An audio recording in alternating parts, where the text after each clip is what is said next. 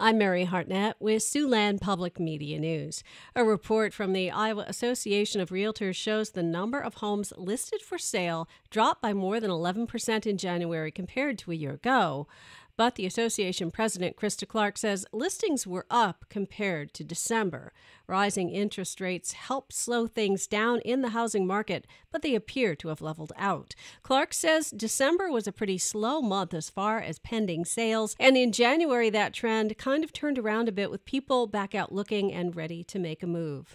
Many Republicans in the Iowa Senate have passed a bill to provide new liability protection for the trucking industry. The shield would also extend to lawsuits over wrecks involving other commercial vehicles like delivery trucks, cranes, utility vehicles, and farm tractors.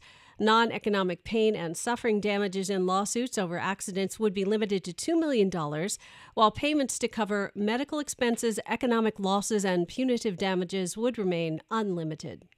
A new study shows the three state universities in Iowa add nearly $15 billion to the state economy.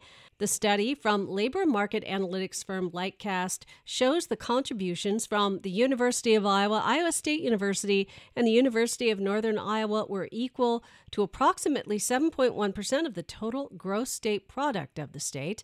The study shows university activity supports 198,000 jobs in the state, which is one out of every 10 jobs in Iowa, and returns nearly $3 for every taxpayer dollar spent and a bill that would have created a Center for American Exceptionalism at Black Hills State University failed to get a two thirds majority vote last night in the South Dakota House of Representatives.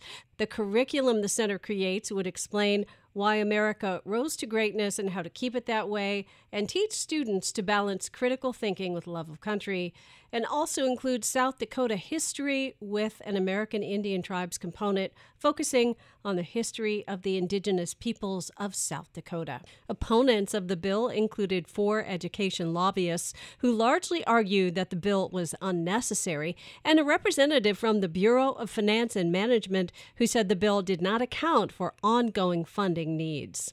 That's Siouxland Public Media News. I'm Mary Hartnett.